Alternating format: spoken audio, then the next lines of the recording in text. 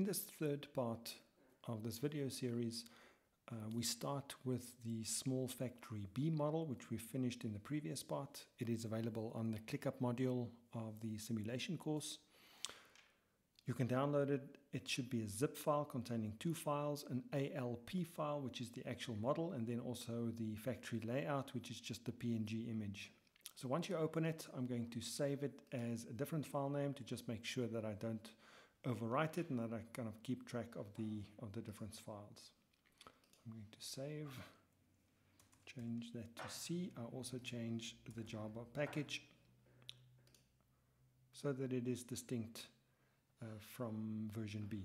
Also, if I click on the simulation tab, this is kind of the default window that opens up as soon as you run your model.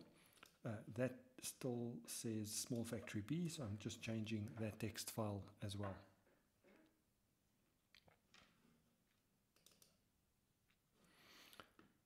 In this portion, I'm going to finish off the model by adding a conveyor from the assembly point all the way to the packaging, add some resources that will package our assemblies into boxes, and from there it gets transported to the loading area, and they will be batched in groups of 10. To start off, I'm going to add some space markup elements to represent the conveyor as well as the packaging area and where the resources are.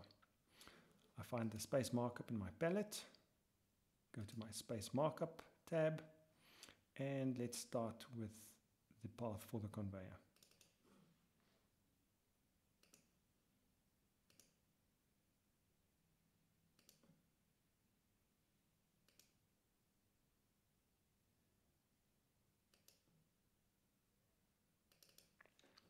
And if you're anything like me, we like to just make sure that this actually follows the given image.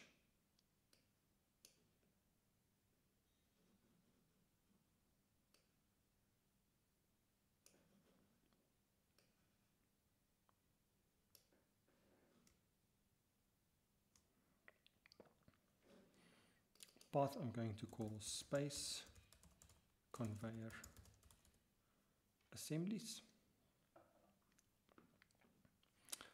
I'm going to add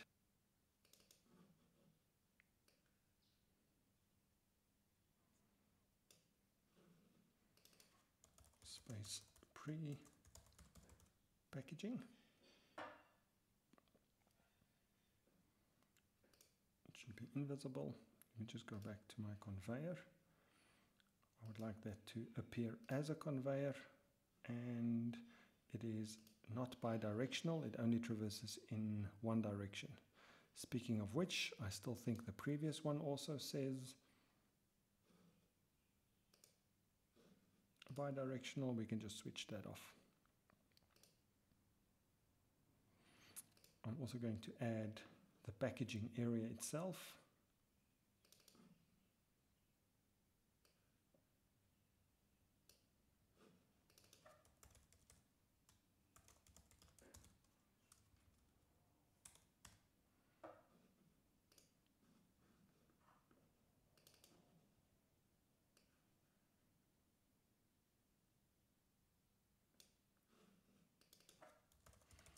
Add an area where my workers will appear and show up and lastly for the loading area.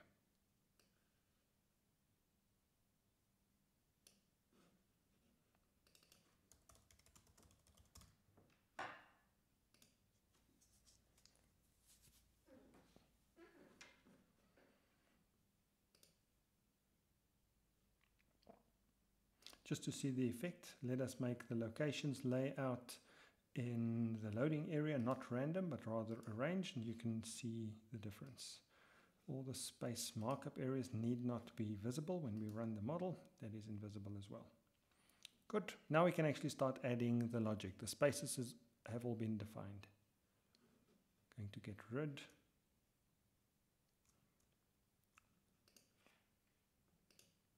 of my sink block I'll add right in the end.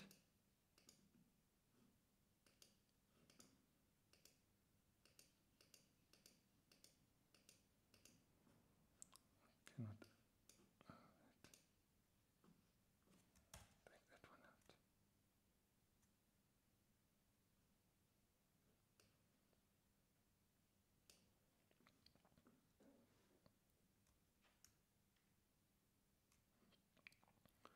right, once it leaves the assembler, I'm going to put in a buffer. So I go to my process modeling library. I'm first going to put in a queue that will act as a buffer, uh, which is the assemblies that await an, an, a point onto the conveyor.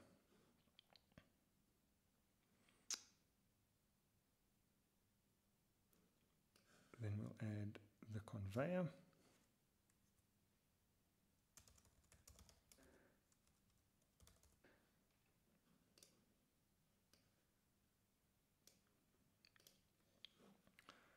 The speed of the conveyor, the length will be defined by its path, and the speed will, let's say, be 1 meters per second, 1 times variable control space meter divided by second.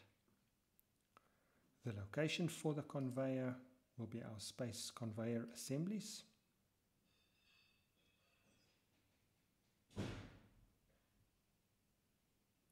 And we're going to change the entity's length. At this point, what comes out of the assembler block is not assemb um, sorry, is not bodies anymore, but assemblies. And the assemblies at this point does not have any parameters. So for now, we're just going to hard code it to actually say it is 1.5. Let's make it 1.0 meters.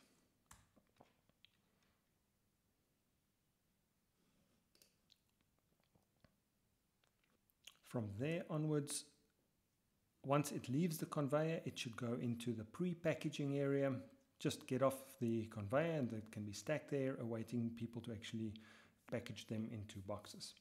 Now, you'll see in the process modeling library that there is a service block. But what the service block assumes, if you have a look into your reference guide, is that the entity type that comes into the service block um, that undergoes some activity or some change or delay, the service block actually assumes that it is the same entity type at the beginning and at the end.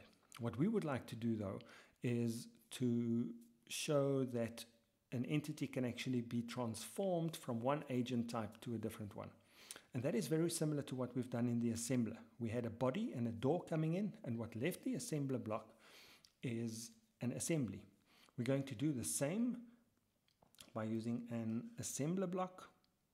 And in this case, we will only have one input, which is the assembly, and what will go out is the packaged product. And this we're going to call packaging.